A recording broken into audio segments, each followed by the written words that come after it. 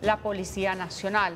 Ahí los vemos en, eh, en pantalla, eh, que la policía ya como es costumbre presenta a las personas luego de ser detenidas y manifiesta los delitos por los cuales se les seguirá el proceso correspondiente. Son seis personas en las últimas 24 horas. Marlon, adelante.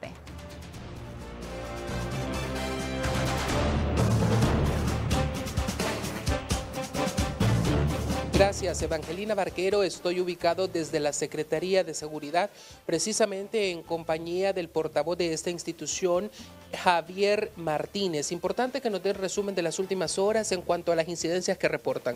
Así es, licenciado, es que en las últimas horas la Policía Nacional, a través de sus diferentes direcciones, le ha dado captura a lo que es a seis personas, esto por diferentes delitos, entre ellos tráfico de droga, por tener orden de capturas pendientes y por el delito de robo las últimas horas pues se ha detenido una persona por este último delito que mencioné de robo, la cual pues eh, las, víctimas pusieron la denuncia de que habían sido despojadas de sus pertenencias en el centro de Tegucigalpa, por lo cual se movilizaron agentes policiales y le dieron detención y pues ya está siendo procesado según establece la ley.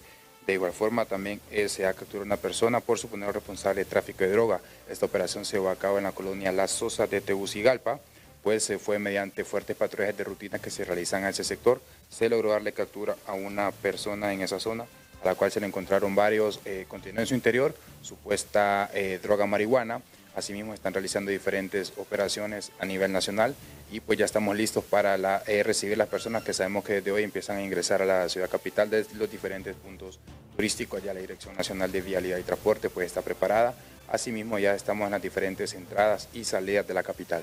Importante recordar, ustedes continúan en operativos constantes en la capital para brindar pues seguridad a las personas que tal vez no decidieron viajar.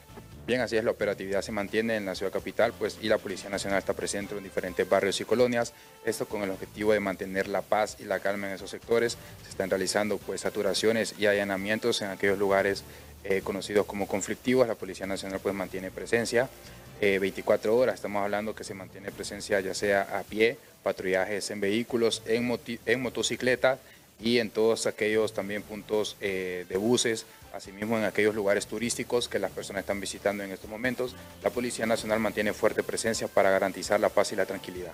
Bueno, muchas gracias al portavoz Javier Martínez por esta información sobre este resumen policial de las últimas horas. Seis personas han sido detenidas en la capital de la República. Compañera, con este contacto retorno con usted a los estudios de Noticieros hoy mismo.